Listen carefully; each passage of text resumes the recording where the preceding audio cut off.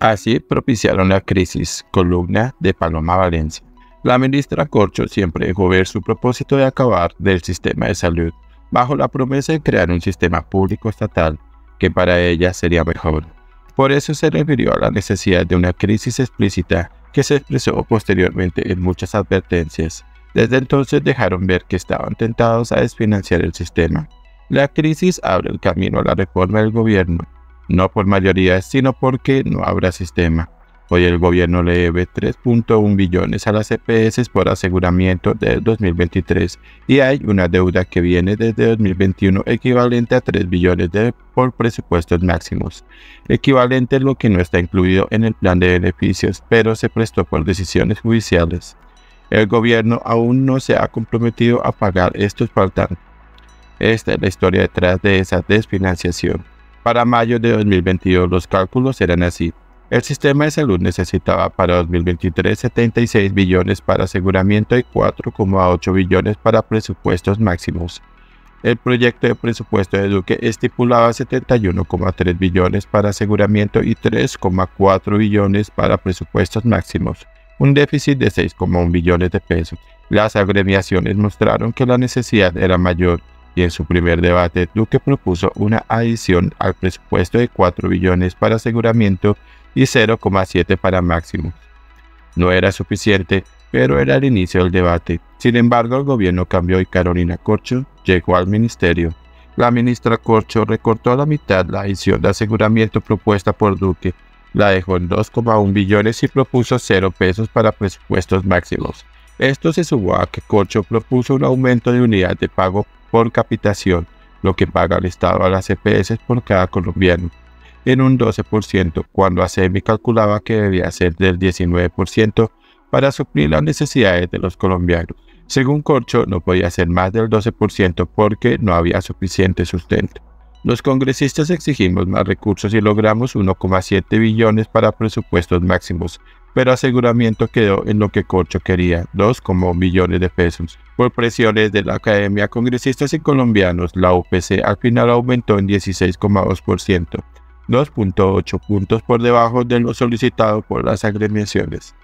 Cada punto de aumento en la UPC equivale a 733 mil millones para el sistema, se le solicitó al gobierno que remitiera los cálculos técnicos que justificaran el aumento del 16,2% y no del 19%. Jamás lo hicieron. Al parecer era un cálculo a loco. Mientras el presupuesto pasaba, el gobierno ponía una reforma a la salud en el Congreso que acaba con las EPS. Las EPS se iniciaron en 2023 con recursos insuficientes y con fecha de caducidad por si la reforma era aprobada. Vino entonces la edición presupuestal resultado de la reforma tributaria que le quitó al sector público 16,9 billones. Las agremiaciones de salud insistieron en la necesidad de los recursos faltantes, teniendo en cuenta las actualizaciones sobre el aumento del 19% en procedimientos y medicamentos, el déficit era de 10 billones, 3,1 billones para aseguramiento y 3,9 billones para presupuestos máximos, más otros recursos por recobros y licencias. El gobierno negó la edición completa y propuso solo 2,2 billones de pesos. Así se aprobó. Hasta el momento no se ha girado recursos de la edición. El gobierno se comprometió de manera informal a que un billón de pesos de esa edición se direccionará a presupuestos máximos.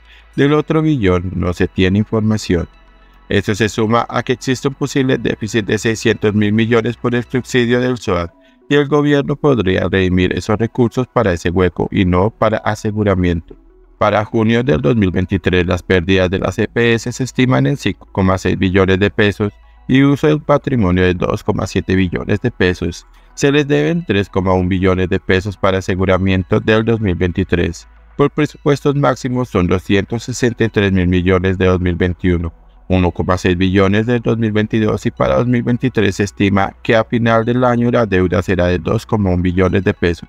Los presupuestos máximos se pagan por adelantado pero el gobierno solo giró hasta junio. Por recobro se deben otros 3 millones de pesos. El presidente insiste en que el sistema no cierra, pero es evidente que si se les pagara el sistema funcionaría bien. Si llegamos al 2024 la situación es grave. El presupuesto para 2024 prevé 67,8 billones para el sector salud, lo cual no es suficiente. Para 2023 las frecuencias de procedimientos de salud aumentaron un 19% y no se ve que rebuscan. Ojalá el gobierno entienda que es su deber cuidar nuestro sistema de salud. Es un trabajo de muchos reconocido en el mundo entero. Un sistema con pocos médicos, pocas enfermeras, menos especialistas y pocos recursos, y sin embargo con grandes resultados. Invitamos a que construyan sobre lo construido.